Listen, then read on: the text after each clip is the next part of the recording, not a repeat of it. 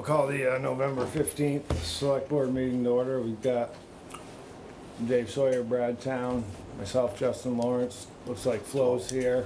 Is John with us? John's not gonna be able to join tonight. All right. Any uh, additions? Yes. We? So we have a, a- a budget discussion with Diane. Uh, A letter of support that needs, if the board elects to, for VAST, for their grant. Yep. And then to add to the municipal road grant, also the, at that time frame, um, tires for the loader purchase.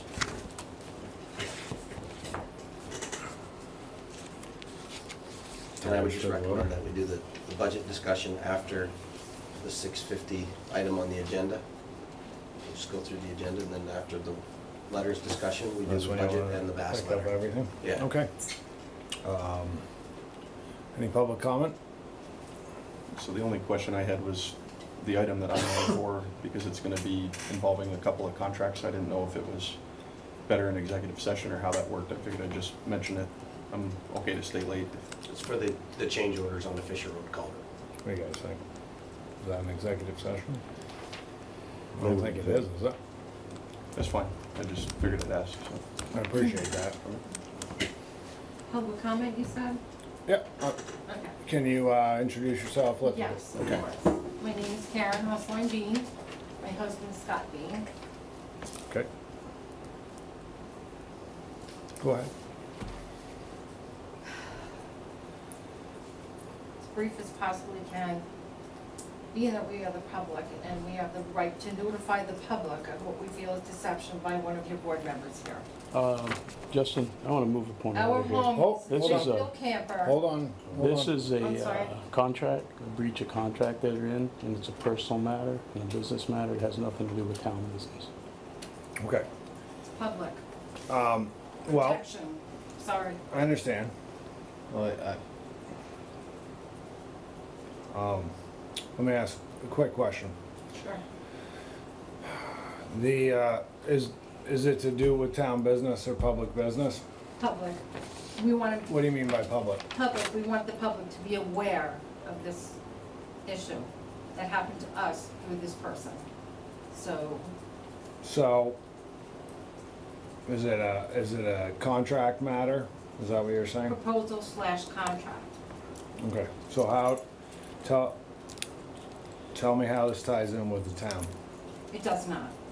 Okay, so this is, this But is I the don't board know. meeting. I'm sorry? This is a board meeting Okay, for the municipality and how, and decisions for the town.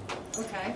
So, one of my, I understand why you're here for a grievance of some sort, and I respect that, and I appreciate you coming in.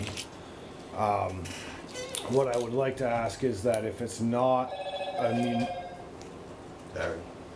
it's okay. If it's not a municipal matter, is it a permitting issue?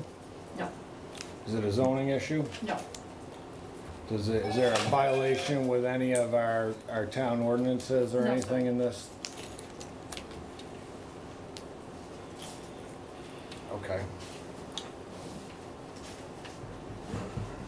So, is it more of a personal issue? Or a contract, I mean, it's a contract issue, I Personal understand what you're contracts. saying, it's a contract dispute, I've had disputes with contractors in the past, myself. okay, Um, and it was a civil matter, not a town matter. right. So, I understand that. so I, I understand But I there there also might be thought some because- frustrations, but, Public meeting, And he's on the select board. that so. it's a- people should be aware That is, that, so, of how we were left. as an elected official, I don't believe that has anything to do with business practice, unfortunately, if that's Okay. how you're feeling. Um, I may, Brad, I might have to put you on the spot here for a minute, and help with some of your expertise. Um, Have you ever had a situation like this in the past? No, but if it's, if it doesn't pertain to town business, it, Understandable. I, I would give you the floor if it, if it fit within what it was supposed to, um, for town business, but Right. is it, is not really town, go ahead, Scott, But- but- was it? Yeah, Scott, but doesn't it, he, he lives in town, he's on the select board. shouldn't it mean to the public that Who this person is this on board person here. is and what he has What's happened done? to us in our home. Well, uh, uh, mm, not, yes and no. I mean, in all reality, uh, if I go do something in another town, right? Or, or you don't like me as a- an individual, or you disagree with some of the actions I may choose in my life, that doesn't really have anything to, that doesn't have any bearing on Right. Understand. other areas necessarily, so. I understand frustrations, I understand concerns, I understand wanting to voice an opinion or wanting to spread a message, you know, so that people Right. are aware. What I would ask is that if you think it is something that we could probably in the future prevent by having an ordinance or anything like that, that you would go through the proper channels which would potentially be like a planning commission thing if you think it was a contract or a permitting issue or, or something like that. Or not necessarily contract, but more like the permitting piece. Um, But if it's, i- if it's not town related, I, re- we really can't get into it. Okay. You But know, I, he- I I like your point, though. It's, I want to protect other people from this kind of behavior and so-called professionalism.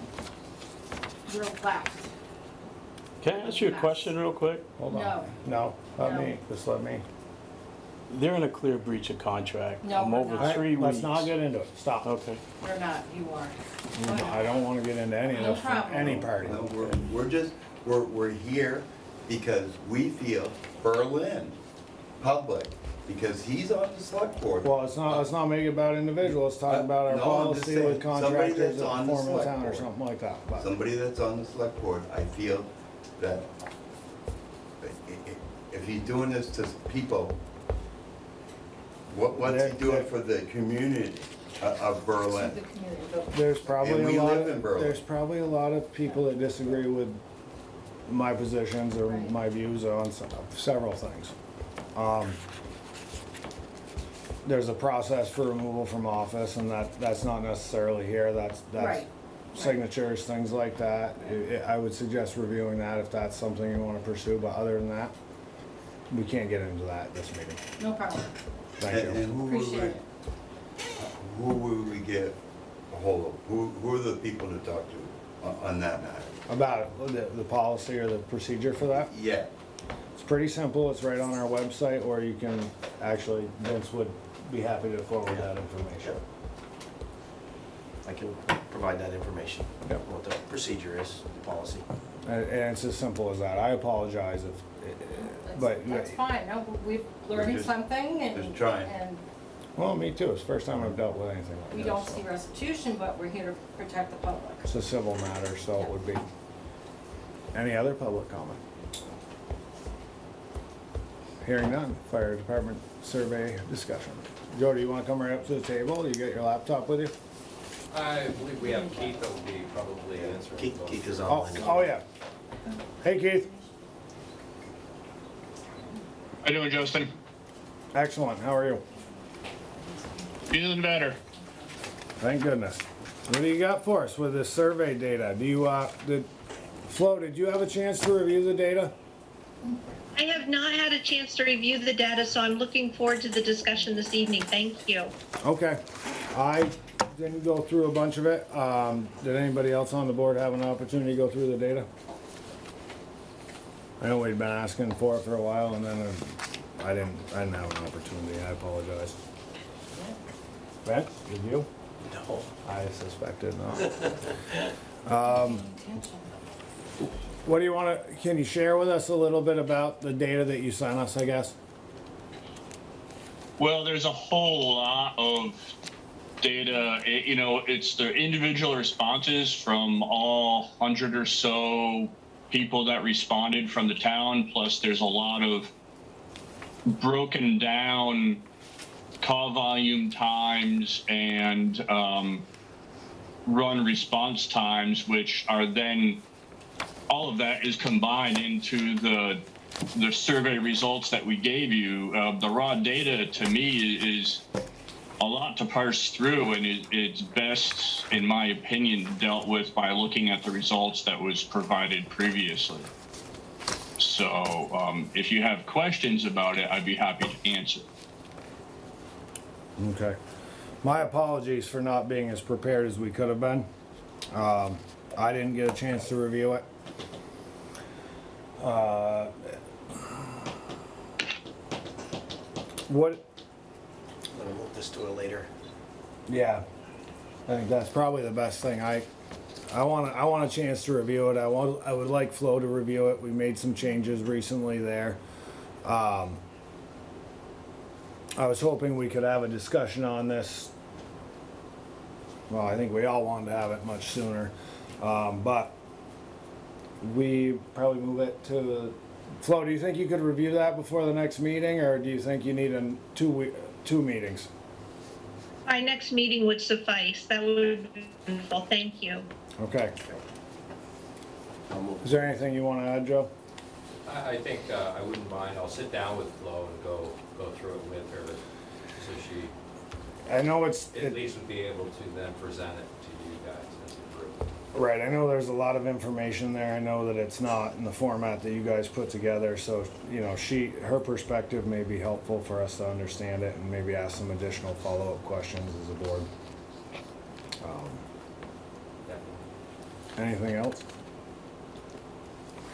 No, Okay. would be happy to be here again in two weeks. Thank you. Sorry, Thank Joe. you, Keith. Thank you, Joe. Thank you. What do you thinking, Brad? Two weeks not great? Wanna go a It's gonna be more than, it's gonna be more than two weeks anyway. Well, it's three. Yeah, I, I get it.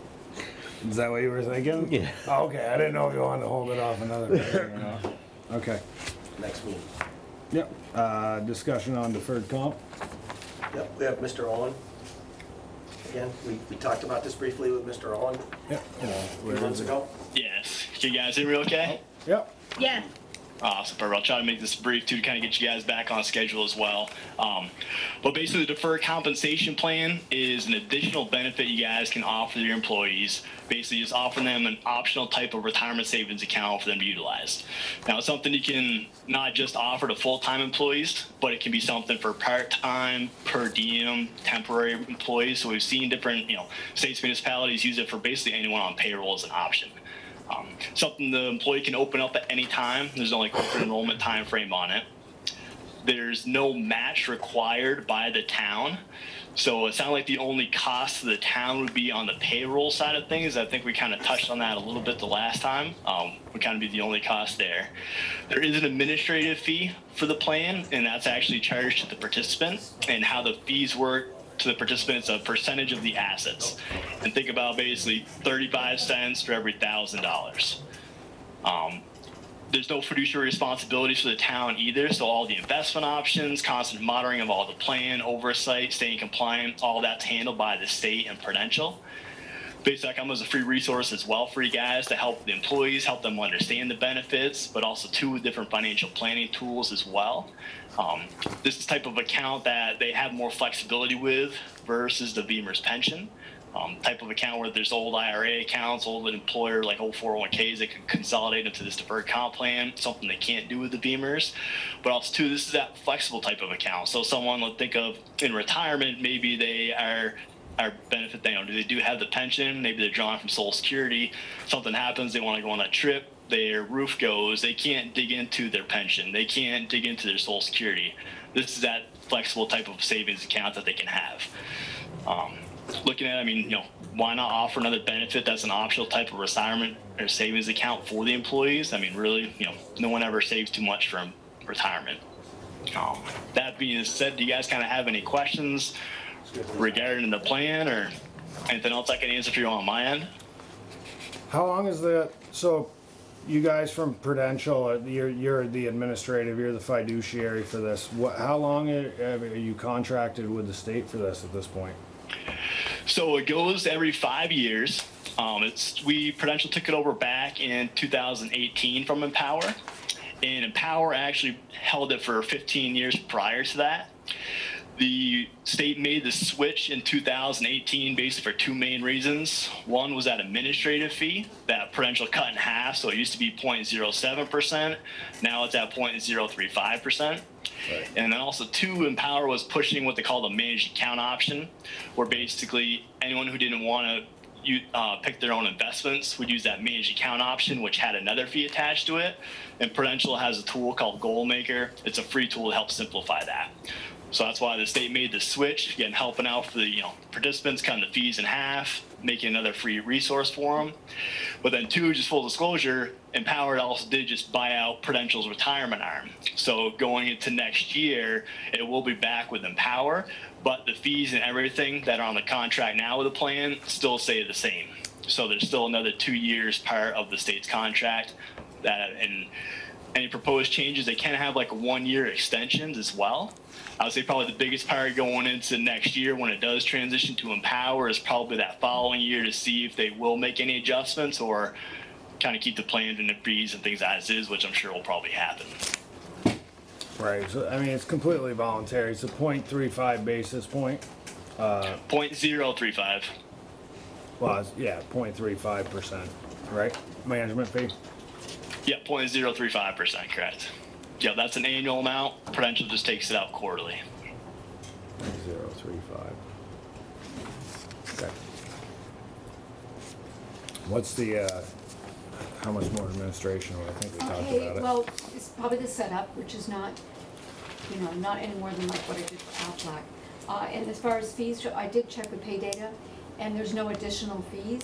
I think that it might be a s- slight uptick in, um, what we have each pay period.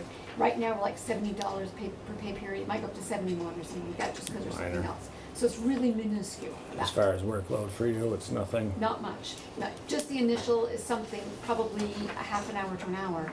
And, because I have to set it up with pay data, and then after that, it's, it's done. okay, I do have to write a check every month, I guess, probably monthly checks from, uh, like I do for Aflac and Right. For the others like that. yep. So are we looking for a motion to, Accept it. I've got Accept it? For signature, yep. Got a Max? copy the, uh, acceptance agreement in your folder. Yep.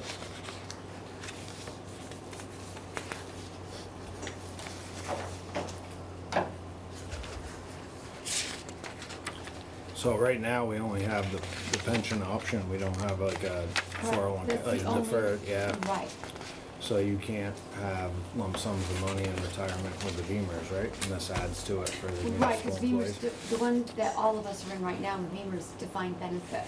So you can't put in extra money. You know, just because your age, some you can, Mm-hmm. uh, more with that four oh one K, but we don't have. Yep. I mean, I, I personally, I like the deferred comp. I think it's a good option. It's completely voluntary, so. And if it's not gonna be an administrative expense that's significant to us, I think it's a great benefit to add to people. You can also offer it too for part-time per diem too. I mean, obviously that's something up to you guys. Um, but so, some people maybe that aren't benefited enough to have the VMERS pension could be just another benefit as well. True. What's the, the portability? I mean, obviously, uh, there's no vesting, it's all their money, so upon termination of contract, it's you typically thirty days, right? I mean, So there's no time frame. So once they stop working for the town, basically at that point they have access to the funds. Um, something where they could take it and roll it over to their new employer's retirement account and keep it going with them that way if they wanted. They could just keep as is. They just wouldn't be able to contribute to it, no longer be an employee of the town anymore. Um, and the type of account, so you mentioned 401k, it's a 457b, kind of think of it like a 401k. But with this type of account, there's no penalty regardless of age. Right. Well, a lot of 401ks, if you take money out prior to age 59 and a half, there's that 10% penalty. That doesn't apply to a 457B, which this account is a deferred comp plan. Right, technically, this isn't a qualified plan, this is non-qualified, correct? Oh, well, technically it's qualified, um, so it's still subject to like the contribution limits and things that retirement accounts are, but it's one where when you take the money out, if you put it in pre-tax, it's just seen as taxable income at that distribution. Right. I would entertain a motion. Maybe Unless you have questions.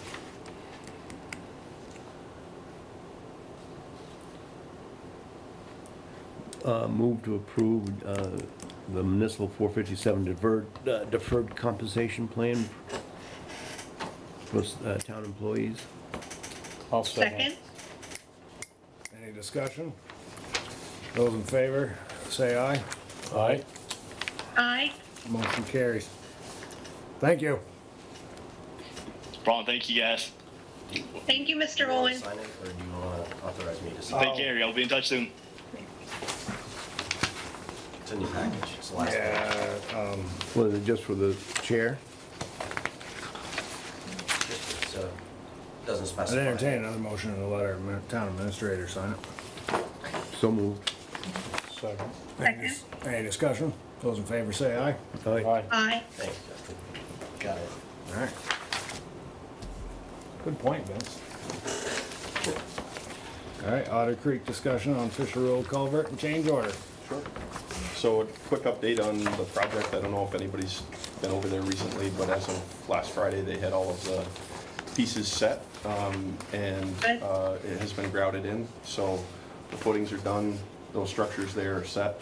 And basically, the schedule for the next couple of weeks is to um, tie rebar on the top. Those pieces come in two halves. They butt against each other like this. And in those halves, there's actually like an open uh, top piece that has rebar in both um, uh, arches that come together, both halves.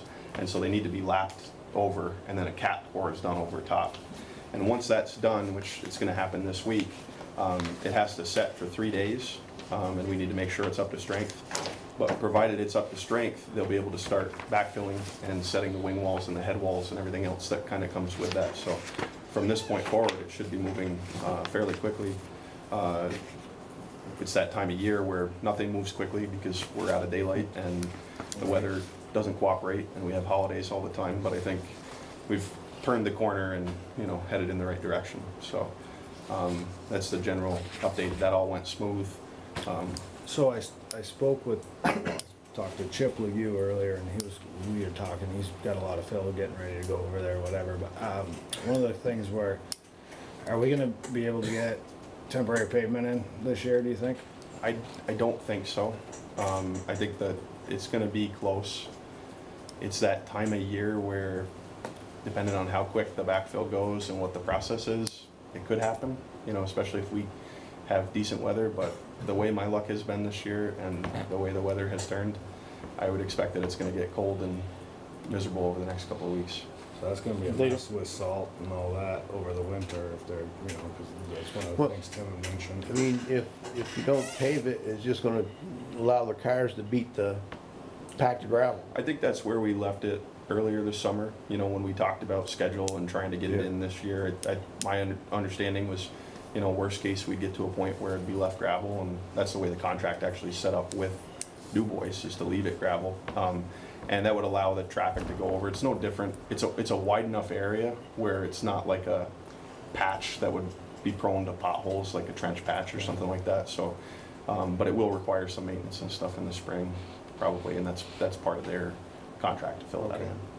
I would think that Pike has a, they'll be closing the asphalt plant here pretty quick. Usually it's around the fifteenth of the month, so, of November, so they probably already have a projected closing date. I haven't checked with them, to be honest, but it's usually then, sometimes we get lucky and it extends to A little Thanksgiving. bit, But yeah. I don't think we're gonna be at a point where we'd be able to do that by I that was just point. curious. Yep. Okay. How are the, the, uh, the other, uh, infrastructures? They laid in there now, or are they still supported? So they're all temporarily in, so the water line we actually relocated, that's, um, that's looped in that area. So it, it crosses over here at Applebee's and goes down the road that way, and it also crosses up by the hospital.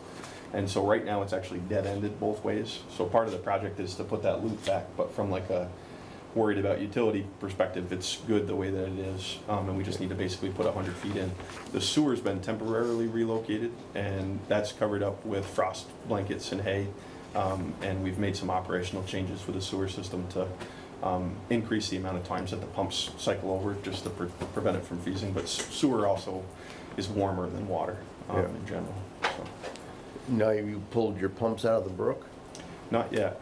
Um, and it seems like every day it rains, it, it comes up to a point where it's getting ready to crest over. Um, the schedule, the short-term schedule right now is once we get that cap poured done, we'll be able to backfill, and that'll allow, if you've been down there, they actually put all of the stone and the riprap inside that, underneath it.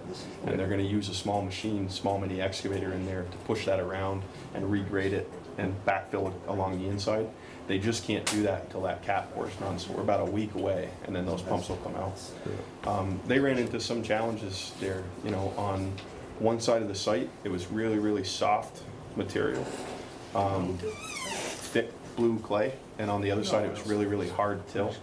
They ended up driving sheet piles on the side that's closer to Northfield Savings Bank, um, at their cost, basically, uh, because it was just so difficult on that side. Um, and the sheets over there, um, they, they gotta take those out. And so what they're gonna do is pull the sheets out before they take the temporary water bypass off. So worst case, it would be probably two more weeks of water bypass. So, a, a couple of things that have come up with the project, I'm, I'm not sure what Vince has gotten you guys all up to speed on. We had a, a few different things, we had, uh, a contract with Contec to supply the structure, do the engineering for the structure and then supply it. And then we had a contract with Du Bois to do the earthwork piece. And I have a couple of pieces of paperwork to resolve. One of them was just more of a clerical change. Um, Midway through the project, we uh, talked with Du Bois, and they wanted control over the schedule for the delivery of the trucks. They felt like they could better manage how those pieces were delivered, and having seen it, I think they did a good job with it. Is that the change order number That's- one? that's the change packet? order number one. I just one. wanna make sure Yeah. everybody can see it. Change order number one, that's essentially a net zero change. Basically, what we did was we took that fifty thousand four hundred dollars out of the contract with Contec, and we, we need to move it into Du Bois's contract. Uh, there's no increase to the town, uh, for that change order. They, they actually did a fantastic job scheduling that. They had trucks coming in and out, and it worked really So, well. and Um, quick. Yeah, it did, and they did a good job. So that, that's what that was for, was to just change their schedule. Just, Okay. just, again, at the end, signature either by you or authorizing me to sign. Just want to put that out. Thanks, Vince. So this, the second piece was an issue that came up, and maybe it's better to uh, give a little bit of history, and I don't want to take up too much of your time, but if you guys recall, when we had a, a meeting back in May about the project, uh, we talked about schedule, and at that time, we were looking at somewhere between 16 and 20 weeks of lead time related to the structure. And at that time, um, we had the contract set up so that it would be bid as one primary contract, meaning we would bid both the struck, you know, the purchase of that precast and the earthwork as one big project. And we started looking at schedule back then, and we couldn't make the timeline work to open up the road this year, just following that process.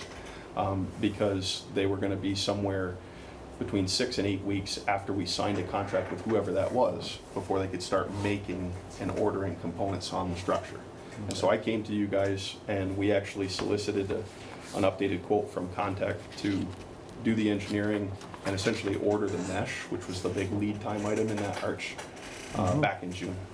And at that time, we were also out to bid for the earthwork portion of this, you know, the- the digging, utility relocation, all of that stuff. And uh, so bidders like Du Bois were relying on the information that we had available at that time.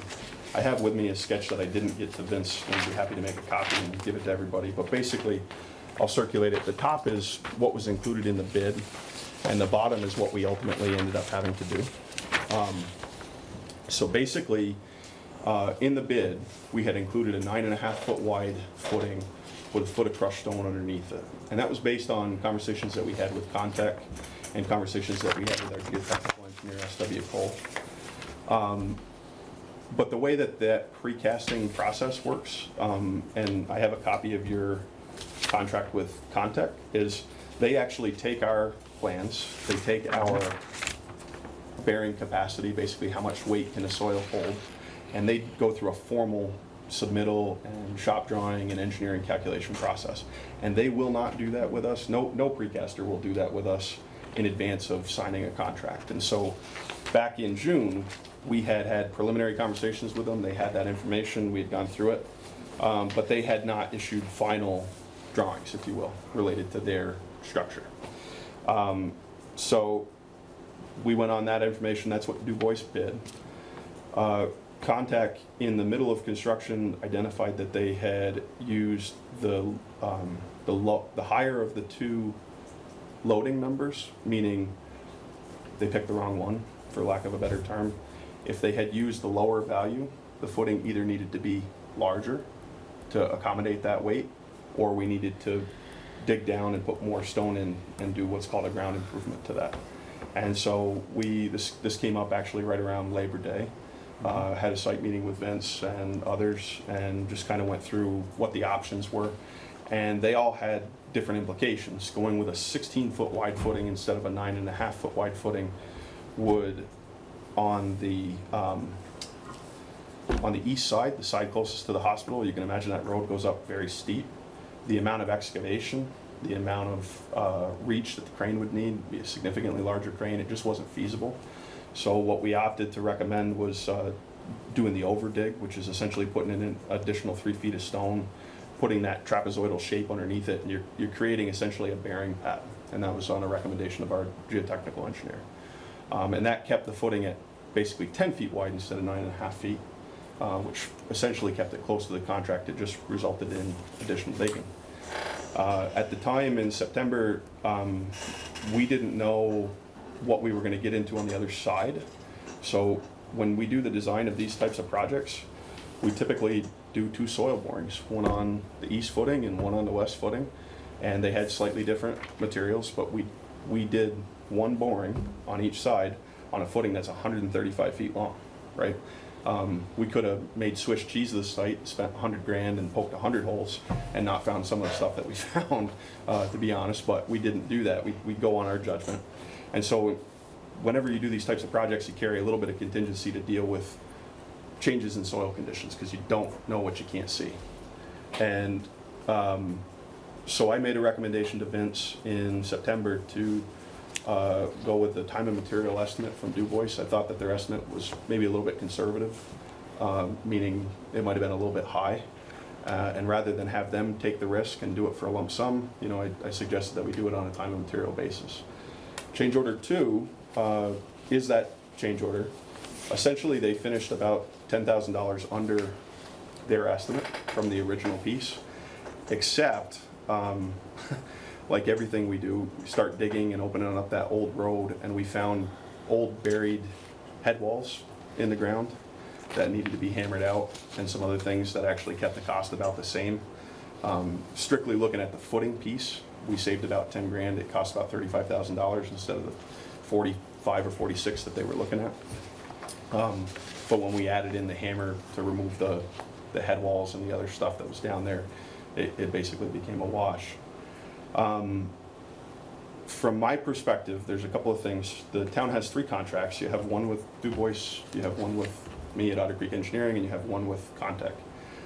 Uh, The first piece is whether or not everybody here agrees that this is a change in Du Bois's contract. And, you know, from my perspective, as I said all along, this is a change in what they bid.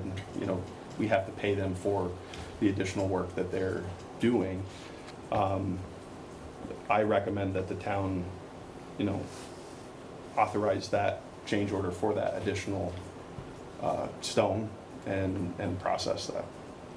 That's, that's kind of the first piece, and, and I think that, hopefully that sketch, at least pictorially, shows the Right. differences between the two. So I think some of the questions we had as a town was, yeah, I understand Du Bois had to change some of their order. Yeah. Um, you guys are what I would say are trusted advisors. Mhm.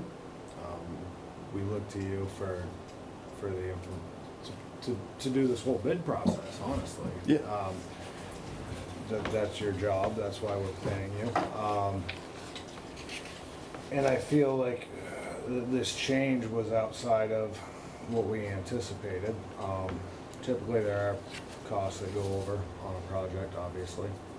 Um, but if you guys engineered it or designed it wrong, which it doesn't sound like you did, that, how is that a liability for the town? Um, but it sounds like Contech might have sent some bad information, or was Yeah. it, was it, where was the issue? So maybe I mean, like, we're- break it down to just plain old English. for Yeah, me. yeah, so I think it's a timing thing. So we had preliminary information from them, and in, in order to get it built this year, I mean, we, we had a conversation, if you remember, probably in June, We had related to, related to risk, right? So what are the town's risks with doing it this way? That's why we Because they're, That's because the they're. time when we ordered the culvert? Yeah, yeah. So their, their price came in almost a hundred thousand dollars higher than the quote that they had given me in December. And I recall coming here and talking with you all, and it might have been Brad who asked, you know, what's the town's risk if we move forward?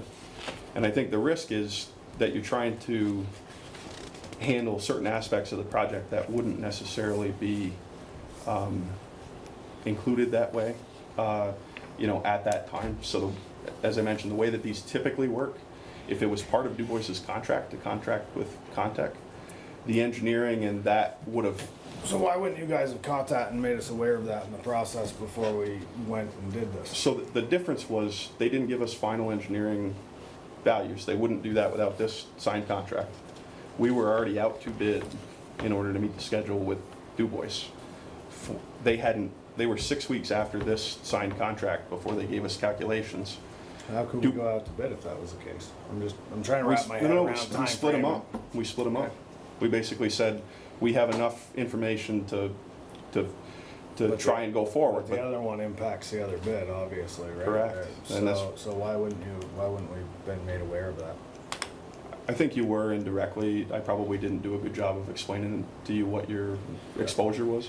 I- uh, I- Again, I just want clarification. No, and, and I guess, so, from my perspective, there's a couple of moving pieces here. Did they make an error in their preliminary calculations? Absolutely. There's no doubt So about con- that. Contech. Yeah, there's no doubt about that. They used the wrong number, which is the basis for that nine and a half foot wide. Okay.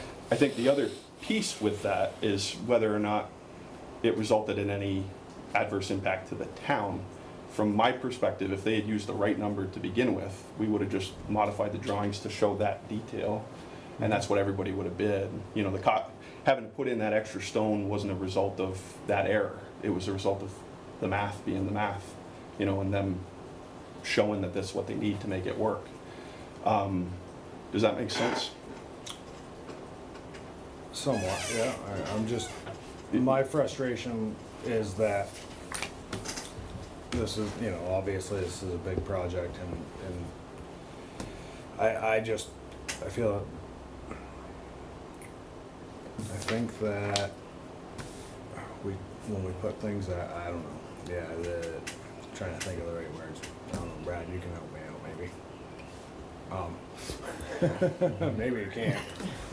Um, I just would anticipate that we wouldn't run into issues like this, that, of this significance on, I- on a project like this, uh, using you as our advisors and, uh, I, I, I, we just didn't see it coming.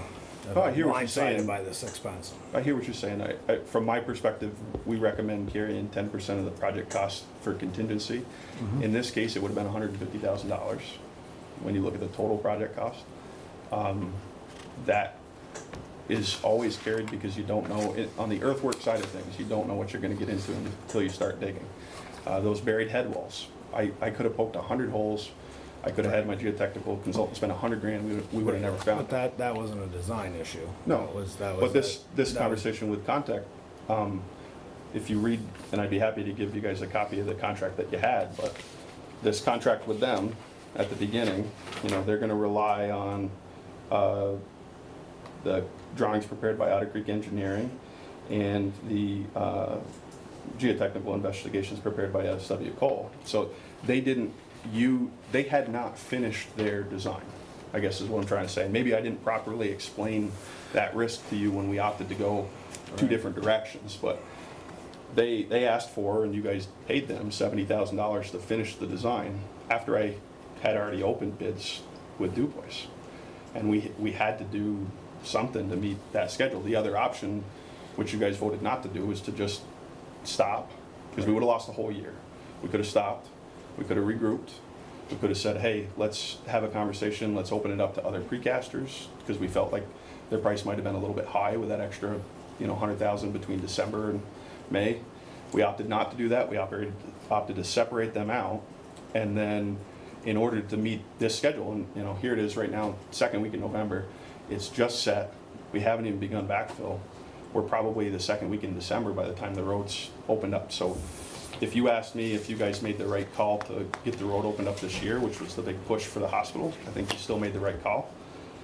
I go back to what I said before, I don't think, it certainly is more than you wanted to pay for it, I don't think, I don't think it costs you anything from the perspective of, if they had used the right number in the preliminary analysis, our plans would have showed that detail, you would have paid to put that stone in. It's not like there's any direct damage as a result of them forgetting it. Does that, does that make sense? I understand what you're saying. Okay. I just, I don't understand why we didn't know that was a liability pretty plain and clear as, with you guys as our advisor. I, again, I, I probably didn't do a good job of explaining that piece. Yeah. So contractually, are we obligated to pay that? You know, if we sent that out to an attorney or anything, if we reviewed it, I don't really know anything about the process. haven't reviewed it with an attorney. I would hate, I would hate to, I know just from, from a business standpoint, um, if, if contractually we, we need, we're obligated as a town to pay it, then we should pay it, but if we're not, then I, I feel like we need to explore options, or, or what are there, what are our options? I mean, we're fifty thousand over, you're saying we just need to pay it, right? Well, so I think there's a couple of things, right? You have three different contracts. The, to- the first piece is, this is a change to Du Bois's contract. They did, they did that work to add that stone. I think you have to pay them. If you don't pay them, and I were them, I'd yank my equipment off tomorrow. Right. No, I Right, so, I so I think understand there's that. that, there's that part of it. The second piece is whether or not you feel, you know, we did something wrong or contacted something wrong. I can tell you that the amount of money that you're talking about there is more than my contract, right? So it's, it's relative. Contech, I don't know what you've paid them, I know you paid them seventy thousand to do the engineering, that's what this contract says here. But the pieces have been delivered and installed, typically their payments net thirty days after delivery. So, We haven't paid them anything other than. other than the initial- seventy, so from my One perspective, in there. There's one in there now? Check in there, yeah.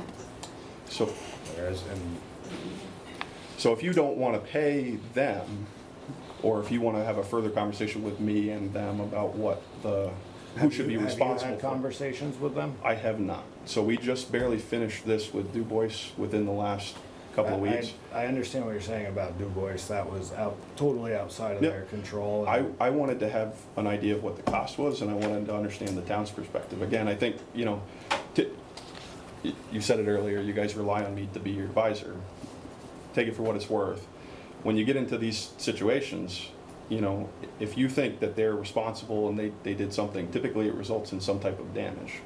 And in this case, the damage is, the town paid more than they wanted to, but I don't think there was any actual damage there. The- If, if they had used the right number in that preliminary analysis, you would have had to do that, or you would have had to put a sixteen foot wide footing in, or we would have said, let's look at a different structure or something. So then we look at it from a contract perspective and, and say, okay, well, who, who was at fault for not giving us the proper information in the contract? Yeah. And where does the liability fall at that point in time?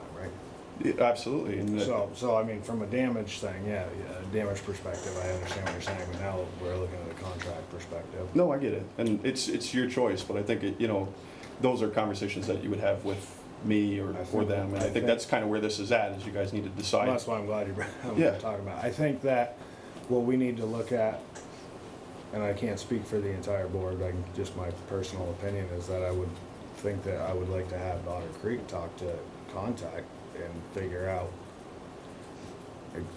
I, I don't know, I, I feel like it's not clear to me. Maybe it's just me and I can't wrap my head around it, but, um, is there, Aaron, your, our contract with Contech, are we, is there any recourse or is there any, um, I mean, I feel like they should have. The had only thing I proper saw- the only thing I information s- On the front end. Yeah. From an, I mean, I'm not an engineer, I can't, No, I get it. It's, this, the way these are, these are proprietary type structures, so they don't really, you know, it's not just that. None of these companies will release that information until you do a deposit payment. That's why you guys signed this. Now, if we had kept the contract the way that it was, Du Bois would have signed this. right? Right. Du Bois would have been the one with the contract with them, and all we bought by splitting them out was eight to ten weeks of schedule time to get it done this year. And I, I think I explained that, maybe I didn't go through the risk piece Right. as, I don't well as I remember much should about the risk piece, but I do remember we were looking to get it done this year. Exactly. Well, and that, and that's why we split them out, Yeah. and that's why they, you have a separate contract with them. You know, originally, the way that this was set up all the way into June was it was bid as one project. Yeah. That, wa- that was always the numbers that I had given you guys, and, and, you know, we came here and you guys looked at me and said, well, why are we looking at buying this for an extra hundred grand more? And the response from the precaster was, well, it's COVID delays, you know, it's other things, and we sat around the table and said, what do we do? Do we do this now, or do we wait, and hopefully it's less money? And you guys opted to go forward. I don't think I explained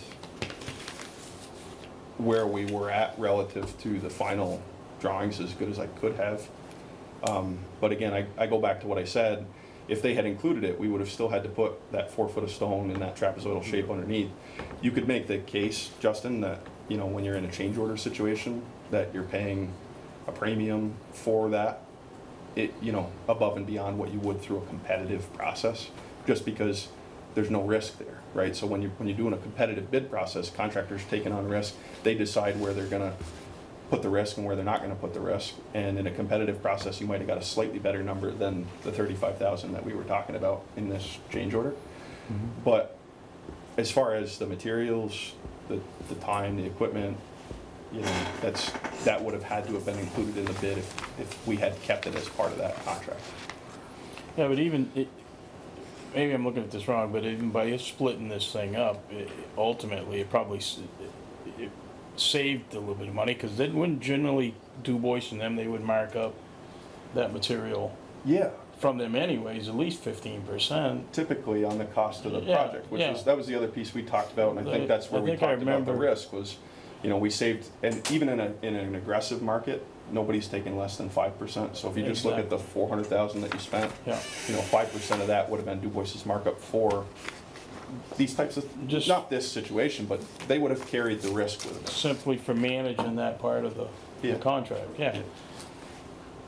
I remember some, when we talked about that back in June, or uh, was it before June, or somewhere around that time, that that was one of the reasons to remove that from the Du Bois contract, was time was time. initially. It was And- time.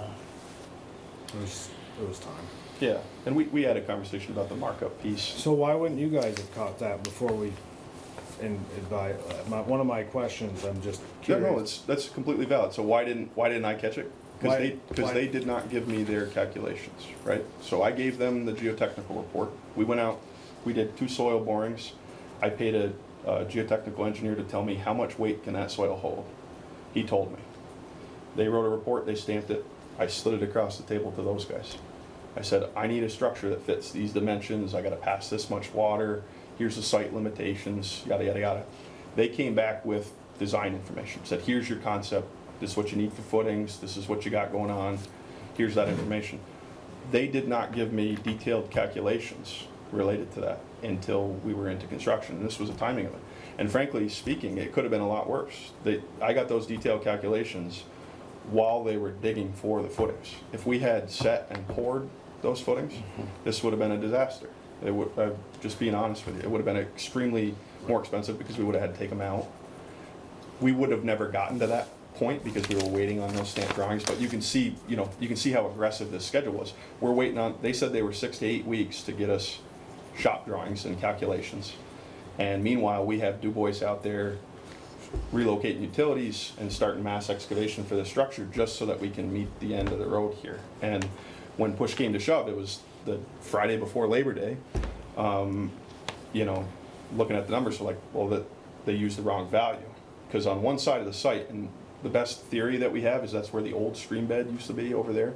A lot of clay, nasty kind of material there, soft and that's on the east side of this new structure. And the one closer to the bank is extremely firm, very hard till. And for whatever reason, in their preliminary design, they used the till number. What we did was we, we worked with SW Cole and Contech, and we came up with that ground improvement there to add that four feet of stone. so that that east side footing would act the same way as the west side footing. And that's what we had to do, was put in that extra compacted crushed stone.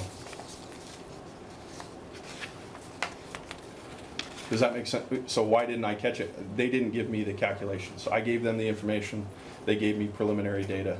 We were headed down a path where we, we go out to public bid, you know, and then they submit submittals and shop drawings. We review that information.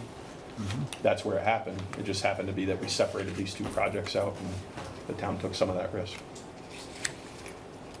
But again, I go back to, we would have had to do that anyway, or, or put sixteen foot wide in, which was really tricky on that east side because it's, it goes up so steep to the hospital. And at the end of the day, um, how much did this change, uh, add to the whole, the overall cost of the project? Uh, thirty-five thousand dollars roughly. It's right here, There's, it's a, in the back. Change order two forty-seven four, I think, right? forty-seven four, but the, the number related to the footing piece, Right. um, the number related to the footing piece was thirty-six, five sixty-eight, seventy-five, it's that number right there. There was a separate cost related to those buried head walls and the, the boulder that was the size of a, uh, bus down there. Um, But that, so that thirty, I mean, I get where you're coming from with it, and, and typically we carry that contingency for these types of things. This was bid as a lump sum. Sometimes you see state projects or other engineer projects where there's a bid, itemized bid sheet, it's got fifty different items on it to deal with some of the unknowns that come up related to earthwork. This was not set up that way. It's a a lump sum contract, it was a change condition for them. Um, and at least from my perspective, the total project cost, you know, construction costs about one point two million. Thirty-five thousand dollars, a fairly small sum of money on a percentage basis. That's why we carry contingency going to construction. And, you know, the hardest part about my job is you can't know what you don't see and we don't see in the ground. So some of this stuff, you know, the, the rock and other things, those, those come up, that's why we carry contingency. This is a little different, obviously, but you get the idea. Still, still a large sum of money, even though it's small contingency now. No, it's, it's a, it's a significant amount of money. I don't want to minimize that at all, but I think, um, you know, we, we always recommend, and, and the, the state and federal agencies that we work with, like the drinking water program and the clean water program, they require that you carry at least five percent of the project cost in contingency going into construction for these types of projects for that reason.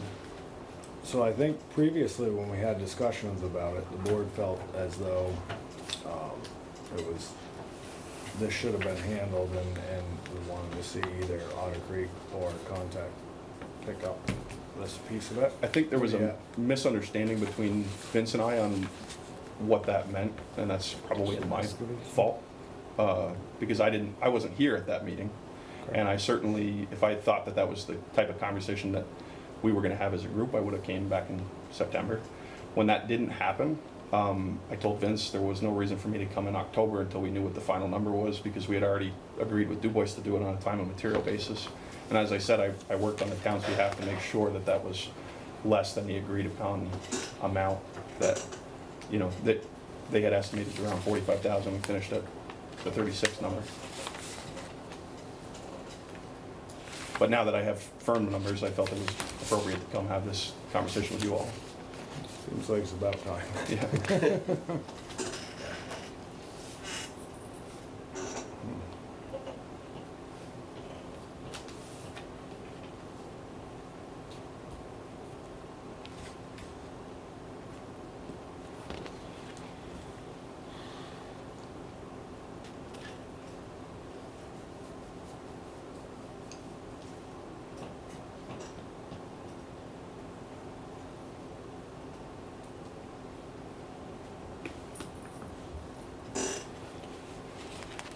So this increase in the footing would have happened if they had used the other numbers anyway.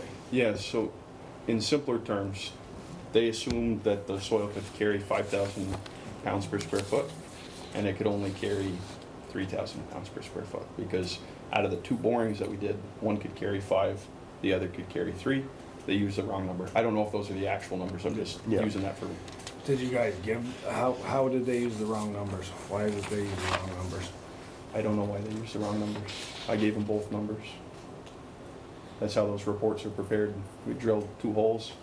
You gotta give them all the information. You Right. can't, you can't just give them the information that's appropriate, right? You gotta give any, any subsurface information you know, you gotta give them everything. So they had both and they, they happened to use the wrong one.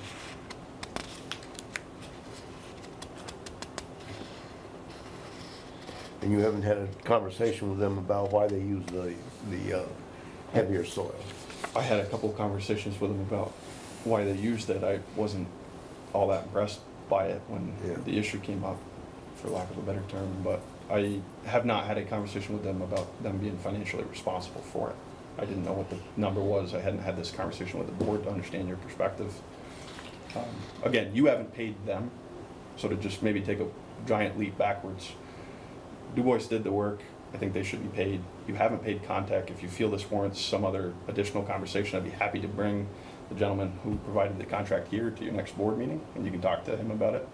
Um, but you, you haven't actually paid them, and that, that whole thing is sitting out there installed right now, so from a contract or a leverage perspective, you, you guys are kinda holding the cards on that side of things. Okay. Does that make sense? Yep.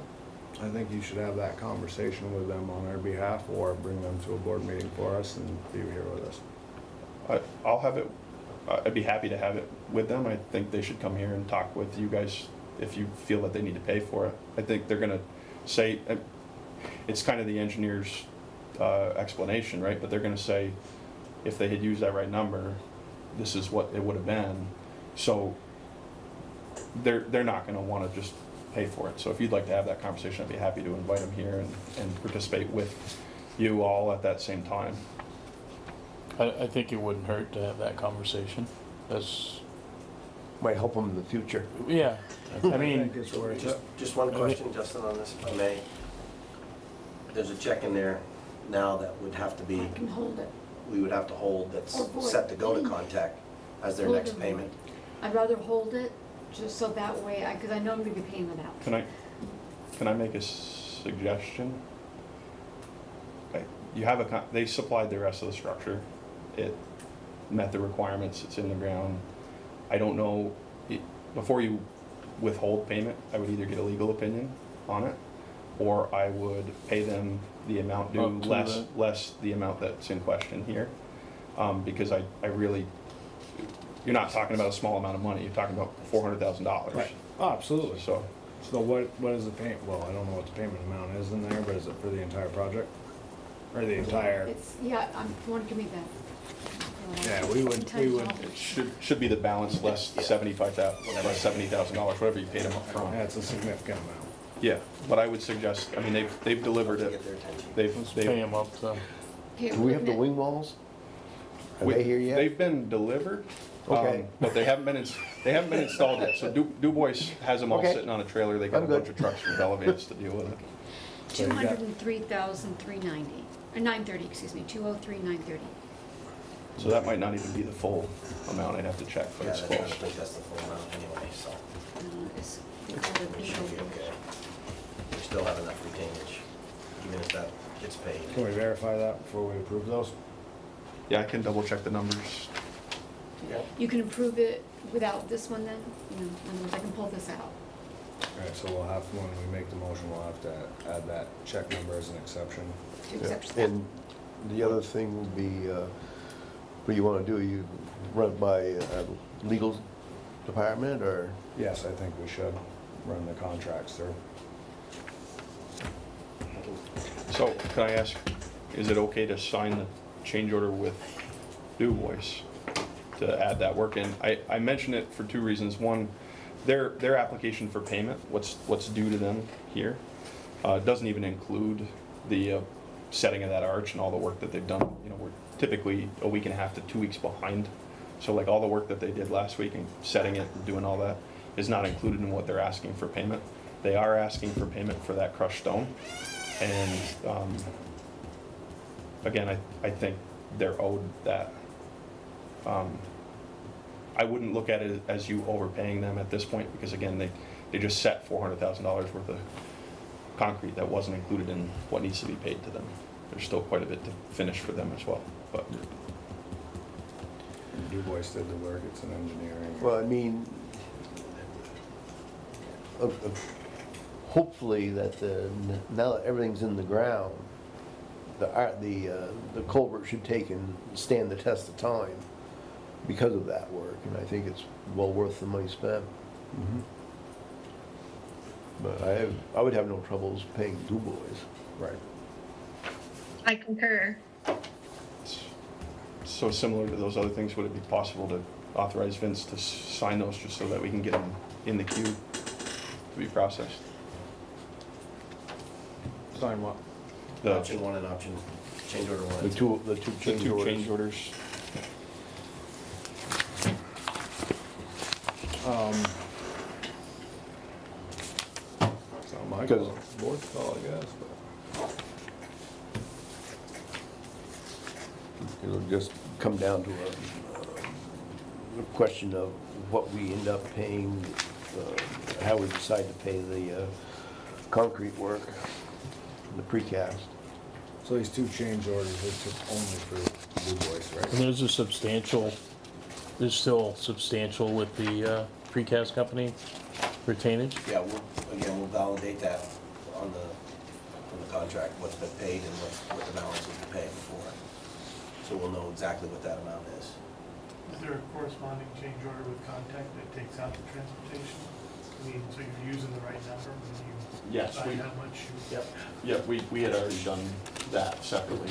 Um, At least it's been documented, I guess, in their contract that went to the town. That's why they submitted that payment for that two hundred thousand dollar number. I need to double check those, but Yeah, I'm confident that that's less the fifty thousand that we took out for transportation. Confident. Ninety-nine percent, sure. So you're, gotta approve change orders, but we don't have all the information. Well, this one change order is a, is a net zero, right? Yes, Yep. change order one. Change order no one's a net zero. So that one doesn't really matter, it's the one there that uh, is for the, s- the uh, work in stone that they put in. Is that correct? Correct. Yeah. And, I mean, because of the work in stone, hopefully that culvert will last till, what, 50, 60 years or so? If I- not longer. I would hope, yeah.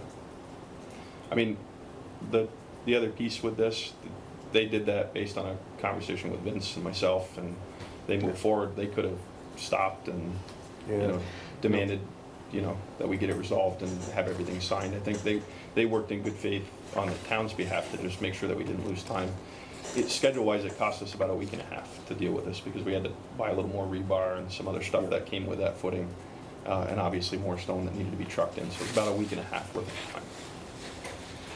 But they, they kept moving, because if they had stopped, it would have, you know, two weeks for a select board meeting, we would have been out a month schedule-wise, Yeah. and it wouldn't be opened up, so. But I think that's one of the things to remember, is have that road open for the winter.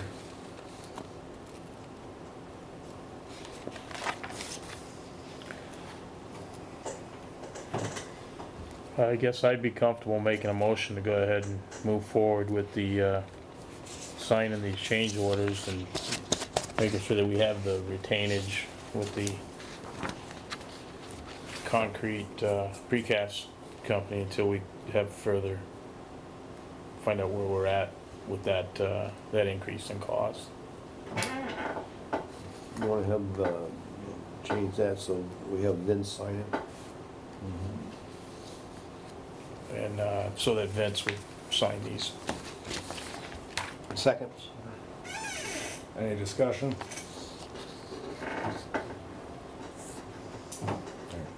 Yeah, those in favor, Right. Aye. Aye. motion carries.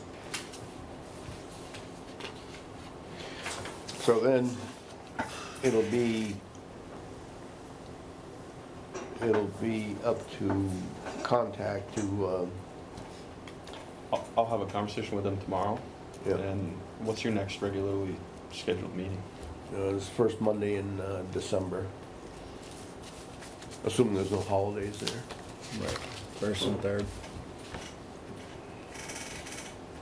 Anything else for them? No, I think they've done a good It'll enough job. sixth, right? December sixth. Yeah, I won't be here for that one. Municipal Road Grant and Aid Program for hydro seed purchase. Yep, I was asked at the last meeting to confirm Thank you. if we had that in the budget. Budget. I had talked to Diane, we do have that, it's, it's about fifteen hundred dollars. Thank you. Uh, in the supply budget, highway supply Thanks, Rob. budget. Thanks, Rob. Yeah. In the system. Thank you, Rob. All right. That was the only question I believe we had on that. That was. Yeah, entertained. And then, you authorize me to sign it? or- Authorize Vince to sign that. I would entertain a motion to, uh, approve the, uh, municipal road grant aid program. For the the purchase. Equipment purchase. So Go ahead and moved. sign it. So moved. Second? Any discussion? Those in favor, say aye. Aye. Yeah, that Aye. was this Discussion in this section. What's that? The addition of the tires for the loader, we wanted to talk about in this section as well, Oh, okay. while we're on the highway stuff. Yeah, so while we're on the highway stuff, we got the municipal road grant for tires for the loader potentially. Yeah, so the issue with the loader tires is every day, there's at least one that goes flat. It's always a different one, but there's always one going flat every day. They need new tires. Uh, Tim's recommendation was to get a set of winter tires. Um, He's found a dealer that'll sell them to us at the uh, government price. It's eighty-two fifty. Uh, Then he doesn't have to mess around with chains or anything like that. Um, And they'll, they'll last uh, probably the rest of the life of the loader for us as well. I think the loader is approaching seven years right now. He's absolutely sure it's the tires, not the rims? Yep, he's sure it's the tires. They're pretty well used up. Okay. And that's in the budget? Yep, yeah, we checked the We do budget. have I enough. talked to Diane in the Yeah, as equipment long as we maintenance don't budget. have tremendous repairs, hopefully, and we certainly have. There's there's enough in the equipment maintenance budget. After, uh, if we were to approve that amount, how much is left? Do we have any idea? I don't off the top of my head, and I don't have it right here. Oh, oh, maybe I do.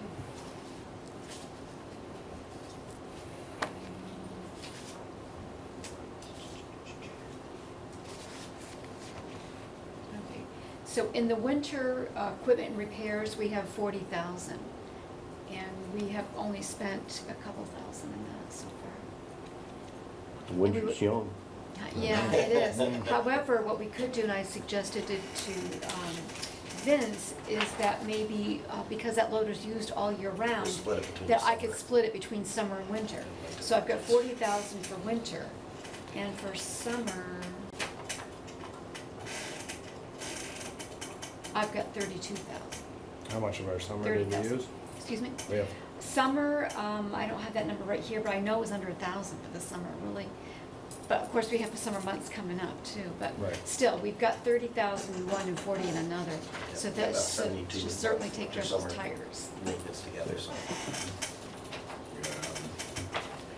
Doesn't do any good with flat tires. a lot of labor to pump it up every day.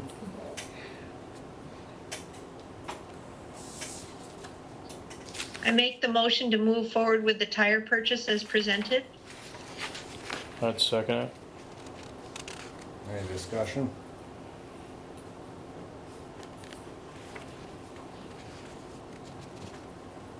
Those in favor say aye. Aye? Aye. Aye. Motion carries. Alright, the other two items we're bringing up that we added. Multi-use path exercise center discussion. Yeah, I sent you all uh, an email that has a link in it, so I'm not gonna show the short video that, that this came with, but uh, it's, uh, it's it's, it's basically an outdoor exercise area that would go on the multi-use path over at the town center. Um, I know that Tom and Carla have been working on this and asked me to bring this to the board tonight um, to talk about it. Uh, The, the Public Works Group has 18K um, that they would be willing to uh, contribute toward this. There's also a $65,000 grant that we are eligible for, um, for this from the uh, MVP Healthcare. that they have on that. Um, The hospital has been approached, and they are very interested in contributing some dollars to this as well.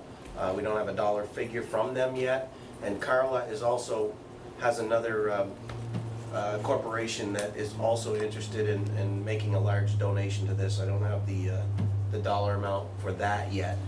But based on that, based on not knowing those numbers, just with what we have right now, it requires a balance of hundred and thirty-five thousand dollars to be raised.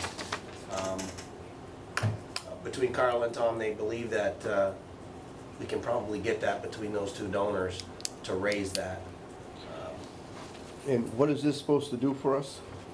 It's, it's, it's part, it would be part of the multi-use path around the Newtown Center zone, Yeah, and it would attract potentially, uh, if you look at the video, people who like to walk, hike, do exercises and do them outside, yoga, stretching. There's, uh, again, the video has a, it's, it's a big wall that's there as well. Um, It's a lot of concrete. well, the only thing that- throws me here is, that- is when they say exercise center, I, I envision a gym. It's, it's not a gym, right? It's obstacles, I guess is the best way to put it, um, like So it's a step-up confidence blocks course. and it's, it's like a course, but it's in a, you know, I don't have the dimensions of it. Uh, But I'd recommend, again, this is just for discussion tonight to make you aware of where we're at. There is a, uh, a video of it, uh, what it looks like, how it's used. It's about two minutes long that I sent everyone on the board a link to. to have a That's the look at. actual, that's actually what they wanna put in, it's not, uh, That's actually what they want to put, what it shows in this video. okay, Yep, I didn't know yet. so. uh, uh, The hospital was, was pretty excited and uh, so was uh, the MVP Healthcare for the, for providing a grant to have that, so. Yep. Sounds like a good update, it sounds like they'll probably come to us with the other potential donors and the, the figures for that as Possibly, yeah, I mean. So it's, it's to raise the awareness tonight, have you take a look at it and then uh, we'll see if the, uh, the other donors come through or if the town wants to contribute towards it at some point. Excellent. Thank you, Vince. Uh, ARPA fund, just, uh, usage discussion. That's It's no change always on there. there. Well, we added one thing, right, at our last, uh, We were supposed to add, someone was supposed to add one thing, yes. Pretty sure I didn't uh, revise the list and send it back out. good thing we have a reminder. I'll revise the list and send it out. All right, And resend it.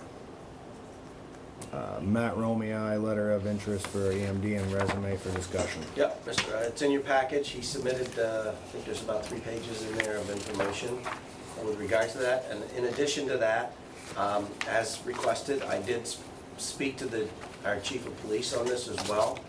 Uh, He is also interested in that, taking on that role for the town.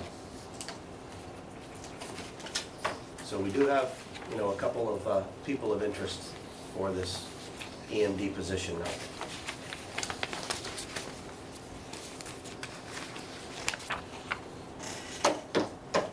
for the board to uh, So we have, we have two people, we have two positions, we have a coordinator and a director, right? Yeah, and we also have Bruce that's still interested in the coordinator role as well. Is there a thing in this position that if you had two individuals, uh, you know, a, a a primary and a secondary, given that they're out of town, is there a structure in that board for that? The, the way that I, I read it, and I, I can look at it again, um, the, the short answer is no, because you have, you have one EMD and you have one coordinator. Are there any trainings they have, or education they're supposed to have? There, there are some requirements, and I- and again, I'd have to take a look at what they are for that. I believe both the, uh, the chief and Mr. Rollet have the, have the qualifications. So I know that a lot of these positions are, like, there's statutes according to what need, like who gets them, the default, whatever. Um, Can you find out if we can have two people, Yep, I, I'll take a look. dual roles? Yep. Um, for either of them, any of them, like what exactly we need to fill? I don't know I, much I may have about to make, this. I'll make some calls to get those details. It's not in the, in the, the way Just that for it's written up. clarification, if you can. Yep. Um, I'll make some calls. And is there any special, ed- uh, training for the coordinator position? That, I don't know the answer to, I'd have to check. I think Flo, don't you have some training in that area? I do. I have some training with FEMA and, um, you know, most likely there is requirements. So if you can look into that, Vince, that would be wonderful.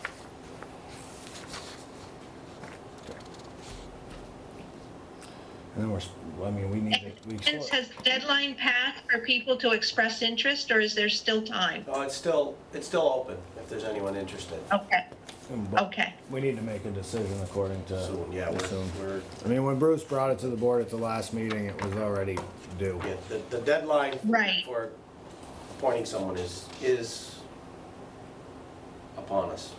Right. Should be, Absolutely. should be at the next. I only meeting. mentioned that just in case there's other people within the town that are interested in whether we had put a deadline out for people to express interest. Now, in the interim, do we have an emergency management director in place?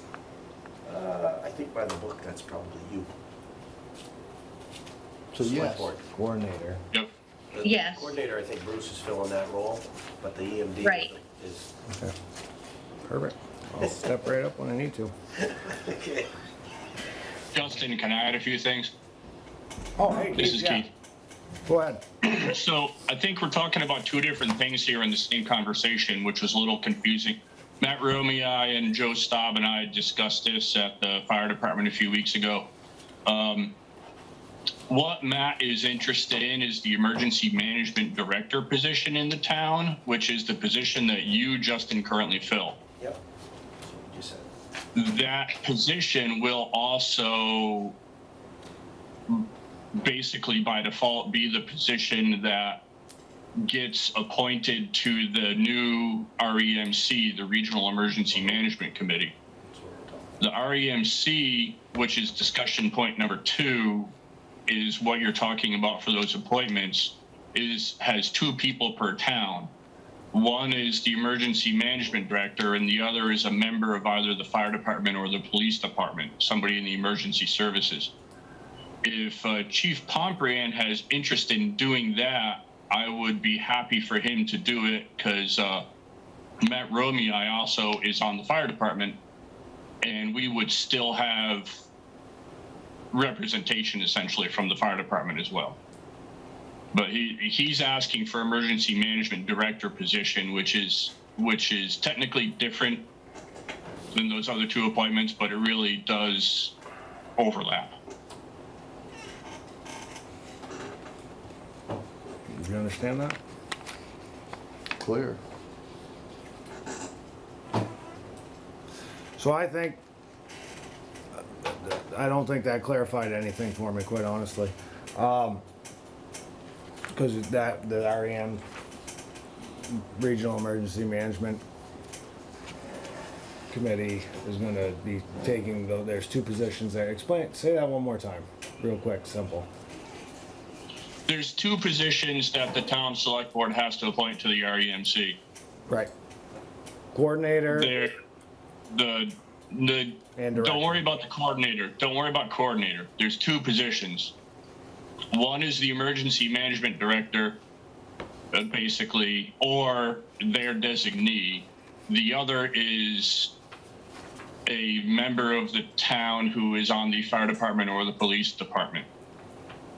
And it sounds like Chief Pontbriand is expressing interest in filling that. This is- So basically We what, haven't heard about this yeah, yet, so. what'll happen is there's two, there's two positions other than the coordinator. The, uh, Matt wants to take and be the director, which is a town appointed position. And then the police, uh, chief wants to be, what was it again? He wants the town appointed position too. He wants the town appointed Same one. He wants the as well. EMD. He wants to be the appointed that designates. Right. No, he, he doesn't want to be the EMD. He wants to be the second member on the Wait, wait, whoa, whoa, regional whoa, whoa, emergency whoa, whoa, management. whoa, hold on. Who, let's not speak for people. Um, we're gonna, we'll find out more about these positions, um, because we have our chief of police. You still have an interest in it, I'm assuming, Keith. We have, or, or maybe not, but we have Matt Romeo as well that has an interest in it. And Well, the two positions what Keith was saying is, is that if Matt is appointed, the police, the uh, fire department has A rep somewhere. a rep. And then the other position would be the, uh, be the Right, but police we chief. haven't even been told about those two positions, so I'd like to get some information, like in front of us that we can look at. I thought we went over some of this the You're other saying day. there's, other than the coordinator, there's two other positions? Yeah. So it's, this is I'll, all I'll new? get some, cl- I'll get some clarity. We'll get some you this week. clarification. Okay, yeah, the coordinator does not automatically have a position on that group. Well, I understand. Okay, so there's only two positions on that group. Um, Bruce sent you the information in the statute two weeks ago. That information was provided to the, to the board shortly, yeah. Yeah. Yeah. As well. But I'll, I'll go through it again and I'm not very good at my job, apparently. Um, so we'll go through that. We'll have to do it at the next meeting. So, Yeah. Well, it sounds like can't there's still defer out things. there, there's still a little bit of interest in that position, Yeah. is my understanding. Yeah, So, and I, I would like clarification. I mean, I, I, we understand it, yeah. um, what it's worth. Anything else for, uh, well, typically Matt's letter, not anything, other discussion really around that as an agenda item, so, alright, uh, West letter discussion. So this is just information for the board. This is a concerned resident expressing his um, position. And uh, he has written some letters to the, to the select board, to the uh, state's attorney, to the governor, and I believe even to the president. This isn't a Berlin resident though, state resident. I think it's just a state resident, and he is raising the issue regarding the um, marijuana, uh, The legality of it? the legality of the marijuana shop that uh, wants to come into Berlin. So this is just information for the board. Sounds like he's a Barre resident, at this post office box. I'm sure people in the room are familiar with this individual. I don't actually. So again, it's some light reading for the board. Excellent. I read through them once. I'll read through them again. It's one of the ones I did read. Okay. So that's all that was for, it was just providing that information. Excellent. Um, we, uh, budget discussion, Diane? Okay, so what I've done is I've given everybody a first draft, this is a very rough, rough first draft. And I've gone through with the department heads and Vince. So, um, there's some numbers not final yet. I'm still waiting for the insurance company to give us the updated numbers. You- should have one, Okay, so, so there will be changes, but I wanted to, the board to at least start looking at it. Uh, and what I'm gonna do during this week is I'm going to be sending you emails that just gives you point, you know, some of the points that we're looking at changing. So in other words, I am calculating like for the police department, um, what they're gonna have for salaries. I'm going with a three percent increase, cause I don't know what the union contract is gonna be yet. Okay, and so those points that I will be emailing to you, but I wanted you to have a look at it so that when we start discussing it in December, you'll have, you, if you have questions, let me know, so that way I can be looking it up. But it just gives us some ideas of what we're looking at. Like I said, I have gone through it with the uh, department heads and Vince. One, one thing I'd just like to say that we just need to keep in the back of our mind to be aware of as well is going through the negotiations, right? The, the way the contract is, is once we ratify the contract, it becomes retroactive. There's nothing in the budget for that retroactive pay to bring them up to date, once that contract is ratified at this point.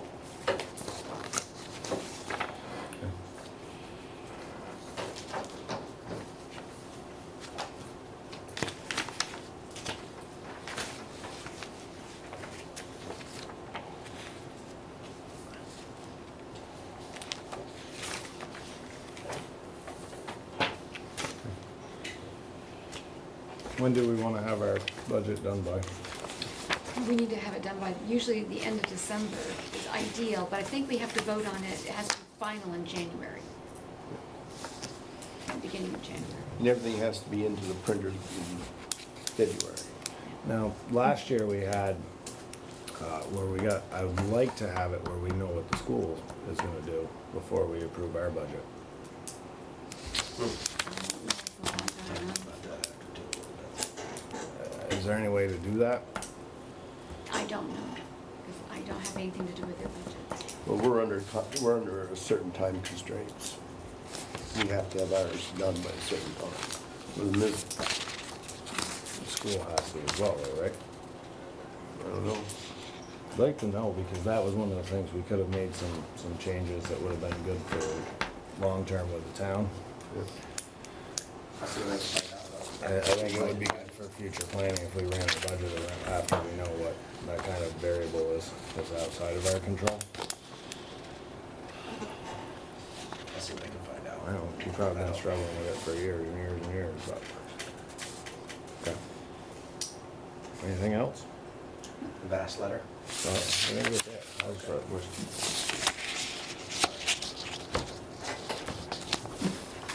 Alright, uh, VAST letter of support. Yeah, they're looking for the town to uh, provide them a letter of support for the grant that they're applying for that would uh, cover some of the cost of the bridges that they put in, the parking lot that we could actually, uh, they've asked me for the price for the, putting in that parking lot up on Darling Hill, and we'll actually, they'll actually include that in the grant, we'll get reimbursed for that work and material uh, that the town is gonna do up there as well.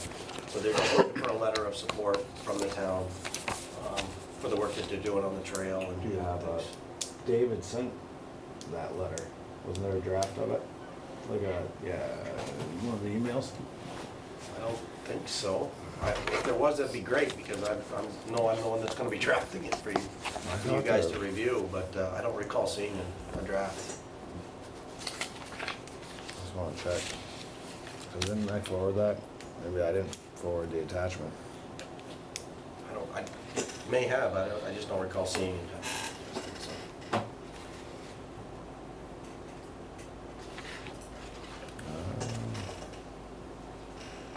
So if the board approves, I'll move, I'll move forward and draft a letter. I'll, I'll reach out to Dave and see if he does have a, a sample and present it to you guys for approval, and gals.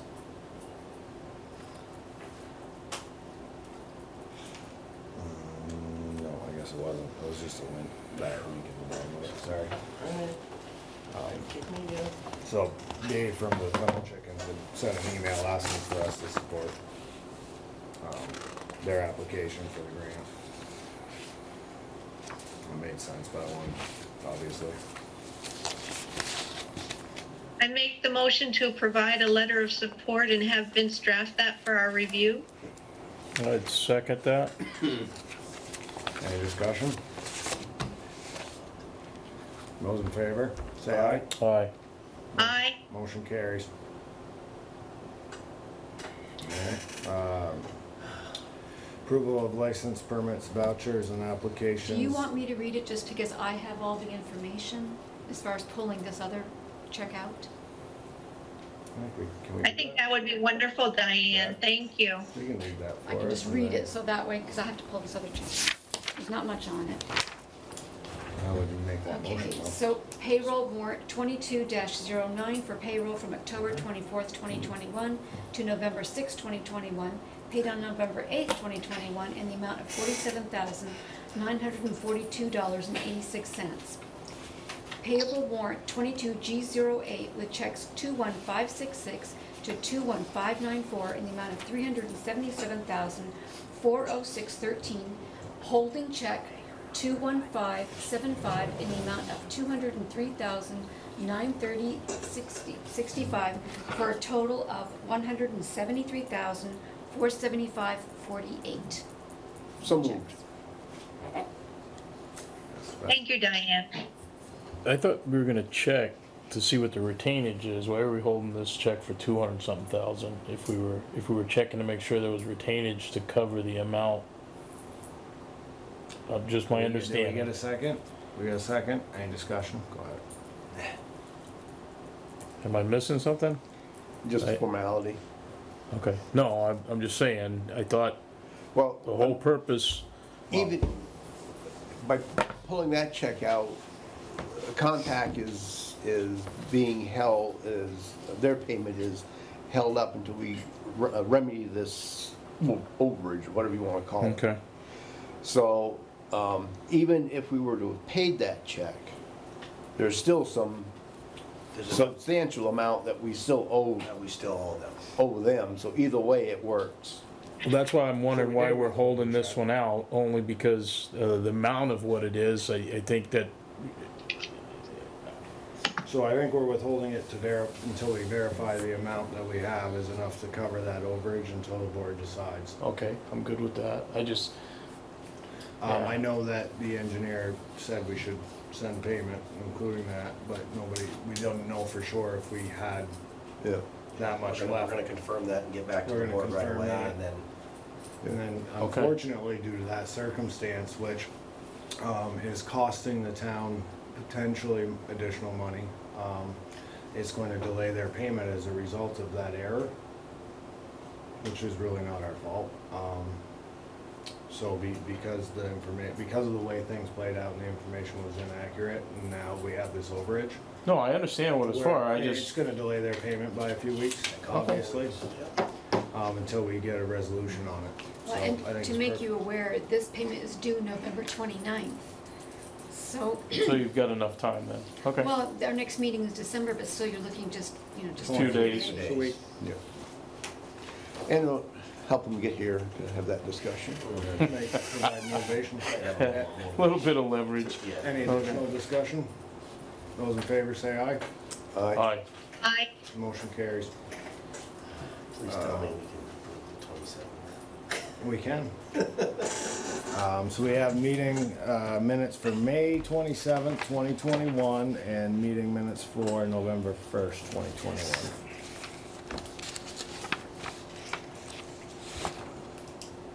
I make the motion that we approve the meeting minutes from May 27th, 2021 as presented. I'd second that one. Oh, wait a minute, that one I wasn't here, right? You were there. Was it? Okay. That's what we've been waiting I'd for. second it. Yeah. Any discussion? Those in favor say aye. Aye. Aye. Motion carries. And then we have minutes for, um, November first. I additionally make the motion to approve the minutes of November 1st as presented to us this evening. Second. Any discussion? Those in favor say aye. Aye. Aye. Aye. Motion carries. Sawyer abstains. All right, roundtable then, Nothing?